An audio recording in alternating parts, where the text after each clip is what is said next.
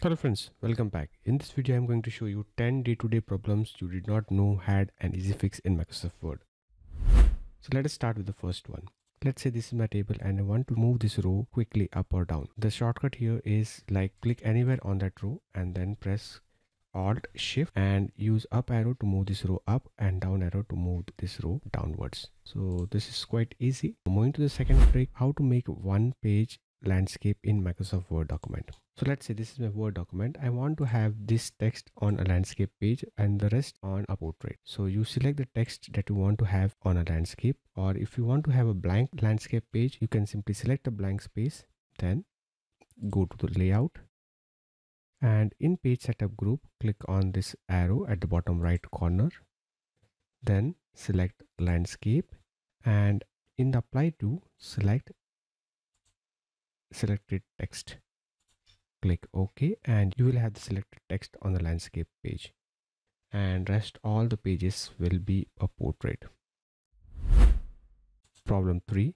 Let's say you want to remove these lines. Sometimes removing line in Microsoft Word is easy. You go select line and then press delete but there are times where removing lines might be difficult for example let's say this is an example and here i cannot select a line to delete it the problem here is that actually this line that we see here is not a line it's a border. So to remove this you select the paragraph that is above and below the line then in home tab go to paragraph group then in the paragraph group click on this drop down menu and select no borders. So it will remove all the borders and you will get rid of that line now many times we have to draw a perfectly horizontal or vertical line in Microsoft Word. So to draw a perfectly horizontal vertical line first go to insert, select lines from the shapes and the trick here is to start drawing a line. And when you want to draw a perfectly horizontal vertical line you can press the shift button. The moment you press shift button the line gets perfectly horizontal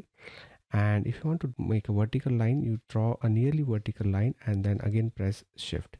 So it will ensure that your lines are perfectly horizontal or vertical. And you can do the same thing for 45 degree inclined line. So basically if you press shift your line will be either horizontal vertical or a 45 degree inclined line. So once it is done you leave this shift button and you will have a horizontal or vertical line as per your need. So that was tip number four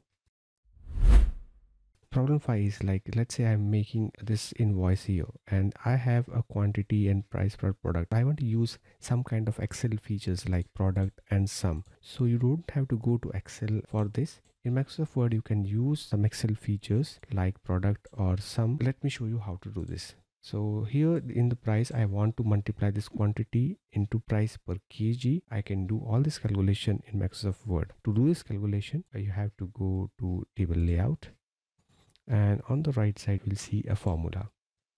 Now here by default yes some formula will be selected. You can delete it.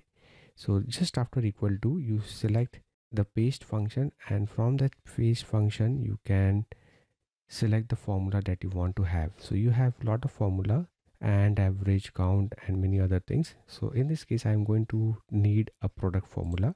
So here is my product formula. And i also want to have what kind of product product of quantities that is left right above or below. So here in the bracket or in the parenthesis i'll type left. Product of all the quantities that are there on the left side. I'll click ok and i'll get this 25 value. So this is 5 into 525 if you want to use the same formula you can copy and paste it. No worry because the formula is static. You need to right click and update this field to get the correct values and once this is done you will have this all these formulas calculating the product perfectly. And let's say I want to have the total at this place. So again I'll go to layout tab click formula. And here I want to have sum above. So Microsoft Word is smart enough to understand what kind of formula that I may need. If you want to have some different kind of functions you can select the function and then choose the appropriate one. But here I want to have sum of all the quantities that is above. So I'll click OK and you will see this formula is evaluated. Coming to the sixth problem that is we want to repeat some tasks so microsoft word has a magic shortcut to repeat previous tasks. Let's see this with an example. Let's say i want to delete some particular row of this table. Maybe you have five to six different rows you want to delete. So the procedure here is you go to the row right click it click delete cell and then select delete entire row once this is done row will be deleted now let's say i want to repeat this procedure for this row so I need not repeat the previous process. I can simply press a magic shortcut that is F4 and it will do the last task and the last task was to delete a row. So the moment I press F4, last task will be done. Coming to the seventh trick, it's spike. Let's see you want to select part of the document and paste it in a new document. What we'll do is we'll use cut, paste, cut, paste, cut, paste. But instead of that, Microsoft Word offers a special feature called spike where you only cut, cut, cut, cut whatever part of the document that you want to have and then paste all these cutted parts at once. It's a spike feature of Microsoft Word it's available in all the latest versions of Microsoft Word. So let's say you want to cut paste parts of a document into one single document. Let's say this is my first part, second part, and maybe the third part. This part can be from a single document or from a multiple document also. So what you can do is you can select the part one, press Control F3. So what it will do is it will cut and save it into clipboard. Then you can again use the same shortcut, Control F3 to cut the second part and similarly for the third part select it then press ctrl f3 and now let's say you want to paste it in some new document then press ctrl n. And now to paste all the parts that we have cut using a spike simply press ctrl shift f3 and you will have all the parts that we have spiked using ctrl f3 now coming to the eighth tip let's say you want to bulk convert word to pdf you all know how to save a word document into pdf you go to files click on save as and then select a PDF from the drop down. But let's say you want to do this procedure for multiple documents in a folder. Let's say this is my sample folder where i have three documents. To simply convert all the microsoft word document into pdf in this particular folder you need to have these two files. And the content of this two file is this first one is a save as pdf dot and the second file is an batch file. Content of both this file in the description. You can go there and copy this file or this code.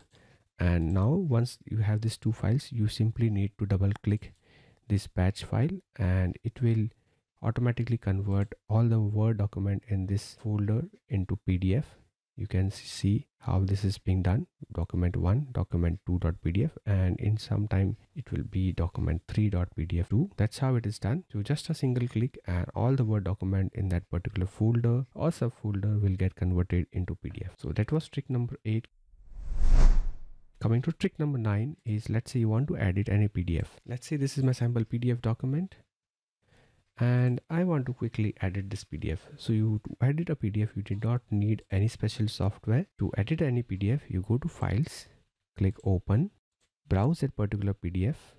Now, if you're not able to see PDF, you can select all files from this drop down menu, then select the PDF that you want to edit. Click open and Microsoft Word will take a little bit of time to open that PDF and boom, that PDF got open and now you can edit whatever you want. Okay you can click on edit anyway. You can do whatever edit you want and then you can save it as a word or pdf document as per your need. So this was trick number nine. Coming to the last trick you want to type some math or scientific symbols. So the trick here is microsoft word has an inbuilt LaTeX type feature to type these equations or symbols. By default it is not activated. To activate it you have to do this one time setting go to files options proofing go to math autocorrect tab and check this box against use math autocorrect rules outside math regions. Click ok. And once this is done you can simply type this shortcut. It starts with a backslash and then the name of the symbol. For example here i want to type alpha. You type alpha and hit space and you will get alpha Similarly for therefore you type backslash therefore and hit space and you get this. Now if you want to have these equations written quite fast then you can use a shortcut that is alt equal to to get equation editor and then type a and for subscript anything that is written after underscore becomes a subscript press space to convert it into subscript equal to let's say r and for superscript you use a caret sign and then similarly anything that is written after caret sign will get converted into a superscript. It's space to convert into superscript and this is done. And there are a lot of these formulas. All of them are covered in my separate dedicated video. If you want to learn how to type equations and symbols fast you can watch the video. Link is there in the top right corner and also in the description. Now to type integral sign you simply have to press alt equal to to get an equation editor. And for integration type i and t. For lower limit type underscore 0 and to get pi in superscript you type raised to and to get pi I'll use backslash pi symbol. And I'll hit space couple of times and I'll get this integral equation. Now inside integration I'll type this for pi backslash pi so that's how I type math and scientific symbol and equation really fast in Microsoft Word like we do in LaTeX. Please let us know which part or which shortcut of this video you liked or if you have any other shortcut that I have missed, please let us know that in the comments. If you feel that this video was helpful, please let us know in the comments or by pressing the like button and you can also share this video with your other friends and colleagues so that they also get benefited.